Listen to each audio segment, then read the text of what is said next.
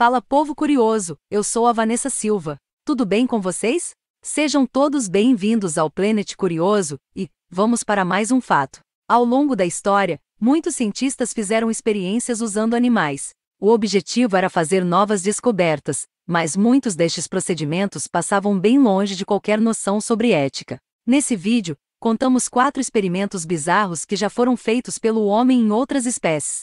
Sem mais delonga, vamos diretos aos fatos. Número 1. Cachorro de duas cabeças. Acredite se quiser, mas já houve quem tentou enxertar a cabeça de um cachorro no corpo de outro. O cientista americano Charles Gatrouet queria, na verdade, ser a primeira pessoa a fazer um transplante de cabeça. Ele conseguiu fazer um experimento em 1908 com uma cabeça que até mostrou alguns reflexos, mas acabou morrendo em poucos minutos. Em 1954, um cirurgião soviético chamado Vladimir Demikov tentou replicar a tentativa de Gatrouet. Ele anexou a cabeça e a parte superior de um corpo de um cachorro em outro. Os cães sobreviveram por alguns dias, mas acabaram morrendo devido à rejeição do transplante. Número 2. O gato Frankenstein. No início do século XIX, um cientista alemão chamado Karl August Weinrod tinha uma visão inusitada do cérebro humano. Ele via este órgão como uma espécie de bateria cujos fios, que o faziam funcionar eram o sistema nervoso.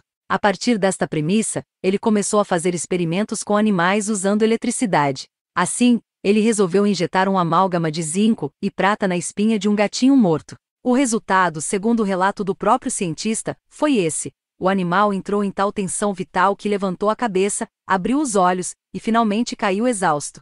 As pesquisas de Weinrod refletiam as ideias de uma época em que a comunidade científica parecia obcecada em reviver os mortos. Curiosamente, um ano após este experimento, Mary Shelley lançou seu romance Frankenstein, 1818. Número 3. O Projeto Lázaro. Carl August Weinrod não foi o único cientista obcecado pela ideia de ressuscitar mortos.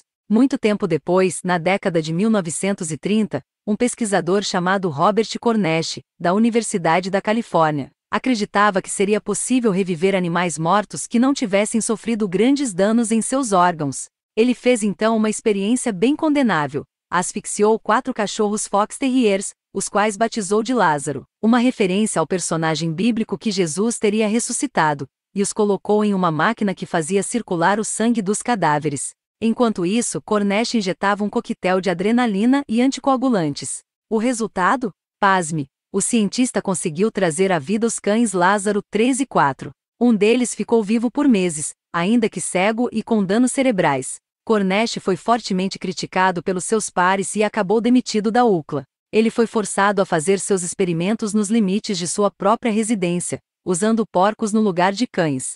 Ele ainda tentaria fazer a mesma experiência com humanos, e até achou como voluntário um homem condenado à morte. No entanto, as autoridades prisionais não deram permissão e Robert Cornesh acabou desistindo. Número 4. A experiência Milgram.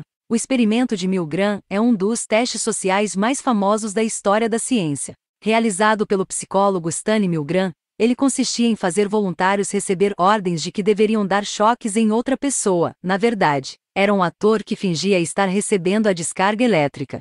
Com o passar do tempo, mandava-se que o voluntário fosse aumentando a carga do choque. A experiência visava constatar o quão capazes as pessoas eram de praticar atos violentos, porque receberam um comando. Acontece que alguns pesquisadores resolveram criar uma nova versão do teste.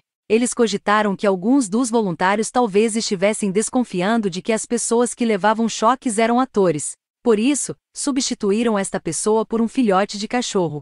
Os choques eram controlados para não serem muito cruéis, mas eram fortes o suficiente para que o filhotinho reagisse. Após a realização do teste, os resultados foram chocantes. 26 pessoas participaram, 13 homens e 13 mulheres. Todas as mulheres aumentaram o choque até o nível mais alto.